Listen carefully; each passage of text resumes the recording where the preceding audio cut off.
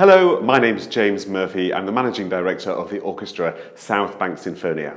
And I was invited to give the following provocation live at the Association of British Orchestras conference in Bournemouth on Thursday, the 26th of January 2017. I want to talk about gender inequality among conductors. Some of you are probably thinking, didn't we already address this a few years back? Well, let's quickly go back to 2013 to remind ourselves. Back then, this conductor, who needs no introduction, said some broad, inadvertent remarks about female conductors, and it prompted a media furore, with everyone rushing to say how much we all prize and value female conductors as much as men. We turned into quite the angry mob. But then this conductor, who also needs no introduction, became the first woman to conduct the last night of the BBC Proms, where she said some soothing words, whilst remarking her surprise that there could still be firsts for women. About the same time, a new scheme was set up for teenage girls to try their hand at conducting to strengthen that pathway. And we all breathed a sigh of relief. Almost getting back up to date, early last year, two significant things happened. Firstly, this conductor, Xian Zhang, became principal guest conductor of the BBC National Orchestra of Wales, the first time a female conductor has ever been given a titled role at a BBC orchestra. The next month, this conductor, Mirga Gražinytė Tyla, became principal conductor of the City of Birmingham Symphony Orchestra. Much cause for celebration, so why am I here raising the issue again? Earlier last year, I received a letter from a conductor looking for work. Reading it, I was struck by a line which said, I'm writing to you because I see your orchestra hires female conductors. I had to read that again. Don't we all hire female conductors? I wondered. I decided to look into this and would like to share some of my findings with you. Don't worry, I'm not going to call out those orchestras who haven't hired any female conductors lately, though there are quite a number of you. Instead, we'll focus on some broader issues. So, there are 61 full member orchestras of the Association of British Orchestras. Between them, they currently offer about 100 titled roles for conductors. How many of these orchestras do you think right now have female conductors in any of those titled roles? Four.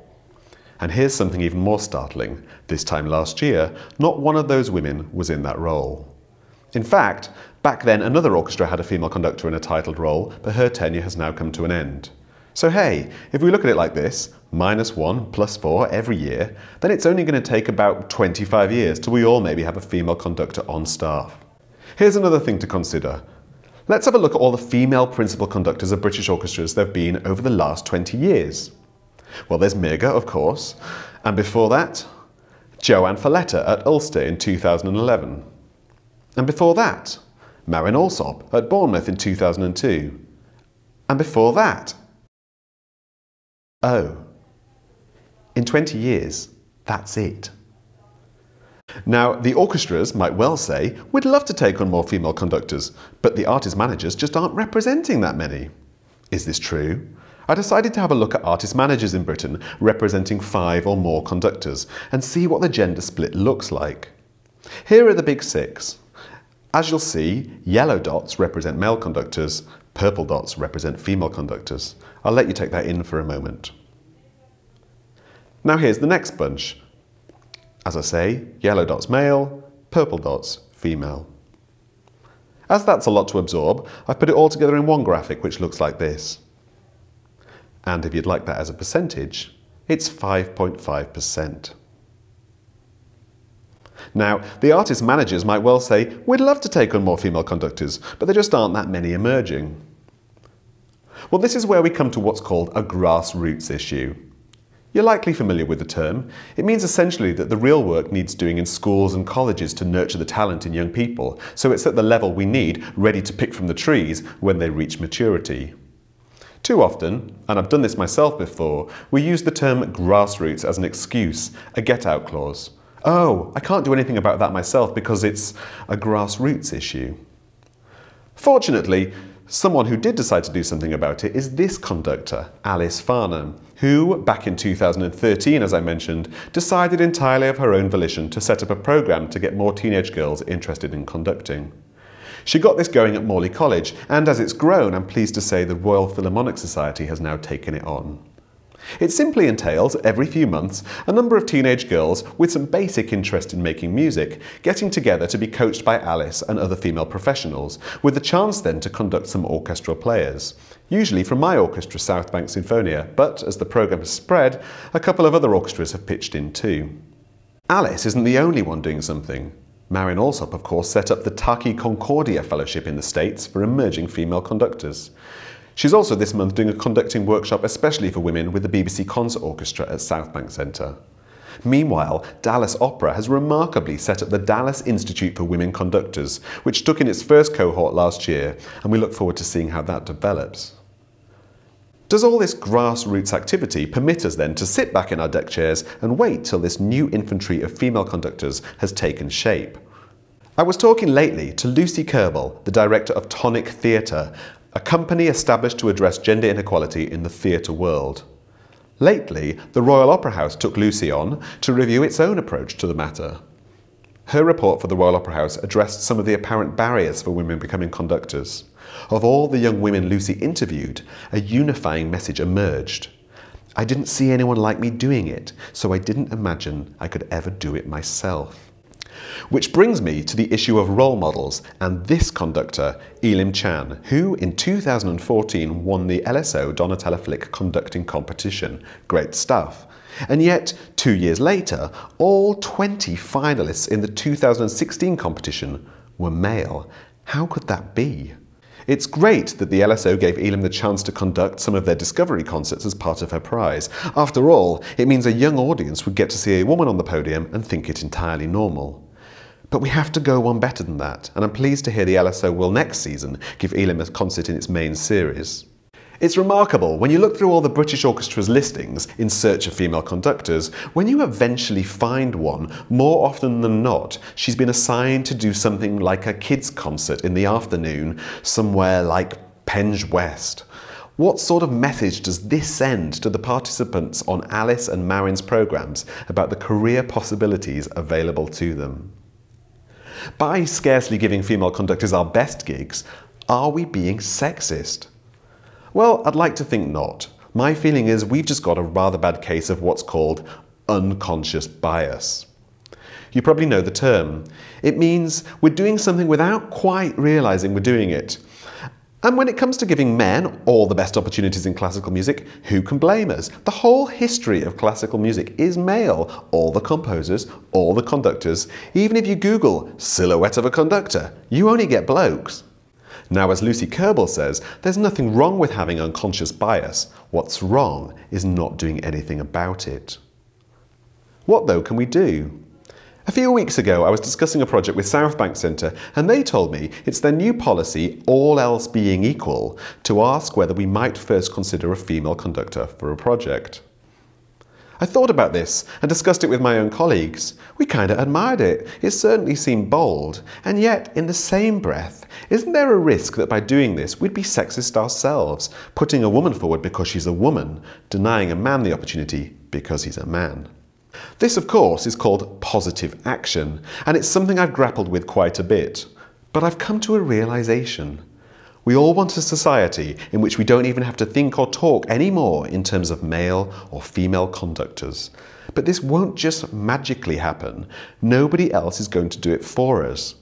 If we want to improve the frankly embarrassing statistics I've shared with you, we, the custodians of classical music, have to take some kind of action, for the time being, to tip the scales. To make sure we are really giving a chance to those who really deserve a chance. Which brings me to why I'm here speaking to you today. This, ladies and gentlemen, is not a women's issue. This is not something we leave to the few brilliant women who run organisations in our sector to sort out at a breakfast. And while we're on the subject, broadcasters, this is not something you just address once a year on International Women's Day. This is something we all have to actively address together. And I don't just mean those of you like me who run orchestras. All of you. Tell your line manager you want to work for an organisation that moves with the times and actively strives for some kind of equality. For my part, last year I asked myself, beyond those conductors we're already obliged to work with, how near might I get to equality, drawing from the long list of talented male and female conductors I've wanted us to work with? And you know what? I did it. An equal number of male and female conductors. Two things worth noting about this. Firstly, it wasn't difficult to achieve, at all. Secondly, they were all equally brilliant. An endeavour like this need not entail any compromise of quality or artistry. Let's just focus for a moment on a few of these conductors. Firstly, Rebecca Miller. As you can see, Rebecca has conducted the Orchestra of the Age of Enlightenment, the BBC Concert Orchestra, the London Philharmonic Orchestra, the Royal Northern Symphonia, the BBC National Orchestra of Wales, the BBC Symphony Orchestra, the London Mozart Players. She's conducted a BBC prom even, and she's our associate conductor at Southbank Sinfonia. And yet, no British artist manager has taken her on. What more does she have to do? Next, Natalia Luis-Bassa.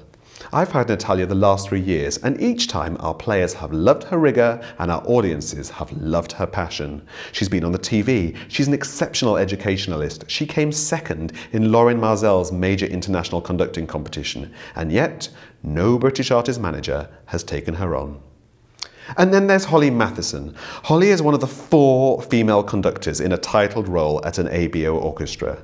And yet, no British artist manager has taken her on, while each year we see boys just out of university or music college with no comparative experience being signed up for management. I urge you all to hire these three fantastic conductors, and if you'd like some more suggestions, here's a list of 113 female conductors working today who you might also like to consider, as well as the boys. This list was compiled back in 2013 by the writer Jessica Duchen, who has been a tireless campaigner for this issue for years. You can find the list on her blog, and handily with it, she's included each artist's website address, so it's easy for you to get in touch with them. What's more, we should all follow Jessica's example, making sure we keep telling each other about the female conductors we've heard are great as much as the men. It's critical we do this, given how few are represented by managers. If I really can't persuade you to think more about hiring female conductors, can I at least ask you to think carefully about how you're presenting those you do hire? Marketeers, here is a screen grab of a major British orchestra's website this month, illustrating those conductors coming to perform with them. It's 27 pictures of men. Just think for a moment how that must look to the young women on Alice Farnham's course. If you need another good reason to hire female conductors, consider this. Last year, the CBSO declared its biggest ever donation of half a million pounds.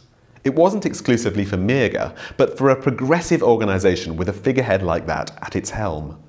Also last year, the Mellon Foundation gave Dallas Opera half a million dollars for its Institute for Women Conductors. So if you really need that kind of motivation, there may be good money in it for you. But most of all, I ask you to think of your audience. Look outside and ask yourself what the world today wants to see. This weekend, we were given the most extraordinary sign of how your potential audience feels about gender equality.